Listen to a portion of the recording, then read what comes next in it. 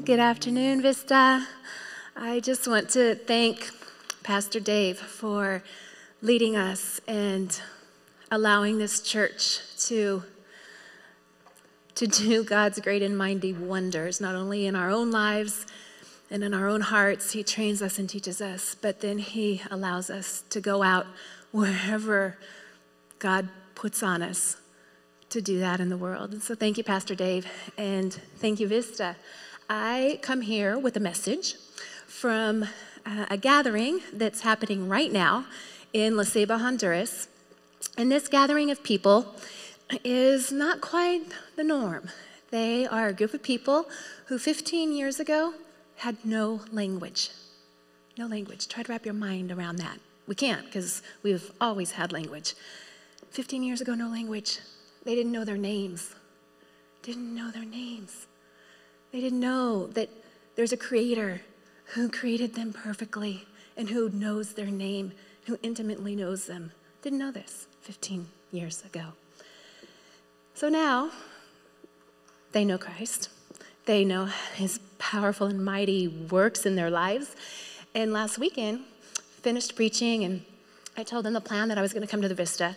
And they know your peeps from the Vista. They love your church.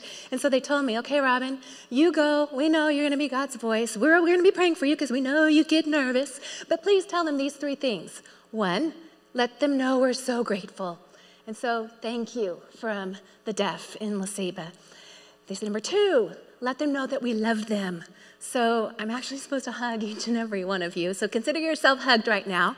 And number three, they said, let them know that we keep them in our prayers. And this one to me is, there's no words for it. Prayer, I have learned over these last 16 years, especially, that prayer is the single most important, powerful thing that we can do for someone else, ourselves too, but let's focus on others right now. And so when they say that they pray for you, they mean they pray for you. And I love it that now they're doing it. And the reason why Signs of Love exists is for lives like Amanda. And Amanda, 15 years ago, yes, she had no language. She started coming to our gatherings, just like the rest of them. And we would start teaching language and start teaching the Bible teach language through the Bible, do silly dramas, and dress up like Jesus and the kings and whoever to, to get the point across. And people started learning. And then there was Amanda. Amanda was always expressionless, never started learning language. But Amanda would notice things that needed to be done. She would see a piece of trash there and she would go and pick it up and throw it away. She would see somebody's drink that was empty that needed to be filled and she'd go and do it. She was a servant. And one day I put a paper on the wall and I said, All right, everybody, if you want to go with me to a faraway village and go find other deaf people and teach them just like what you're learning now, put your name right here. So everybody, almost, got what was going on. So after they all left, I took the paper down and I'm looking at who signed up and I see one of the lines was this big X. And I thought, hmm, didn't take me long to figure out who that one was. So the next week when they came, I showed them the paper and I'm like, who's, who's the X? Everybody points to Amanda, like, oh, it's Amanda, the loser, that's her. And that's when I realized she still, she still doesn't even know her name. I can't, I can't understand what that must feel like. I can't. But he can. And so Amanda started coming with us to the villages, and a year went by, and Amanda still was expressionless. She still didn't understand language. Amanda was that one that was always kicked to the curb. She was the one that they all pointed at and laughed at.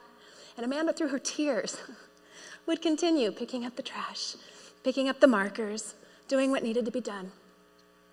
And it's because of Amanda that God taught me a very powerful lesson. And this lesson speaks to my life almost on a daily basis. You never give up. You never give up on anyone. I know that right now, today, God is speaking to, to some of your hearts. You never give up. And it's true. You never give up because what happens? You keep pressing in, you keep believing with faith, you keep being light in the darkness, and he's going to come through. It's his promise. It's that simple. Timelines don't matter. We keep plugging on and we keep marching forward, and it's going to happen. so, Amanda, after about a year and a half, she started. She started with her expressions. She started learning language. She, start, she started getting it. So much so that today she is one of the strongest leaders we have in La Ceiba. She is my friend. She is a spiritual guru. And she not only is doing wonders for the kingdom, but several years back, she met her husband through a Signs of Love program. And years ago, he had no language. Those two got married. He is, he is a phenomenal man of God, amazing, amazing man. Can tell a Bible story almost as good as Pastor Dave. And those two now have a little boy, a little hearing boy, and their life is beautiful and it has purpose and it has meaning. Their lives are the story of why Signs of Love exists. We're doing this in lives, He's doing this in lives scattered all around this globe. And, church, I just am so excited to share with you today that He's alive and He's a miracle worker and He doesn't end, He doesn't stop. And when we're willing to be those conduits and say, Lord, please, here I am, use me, He's faithful. He's so faithful.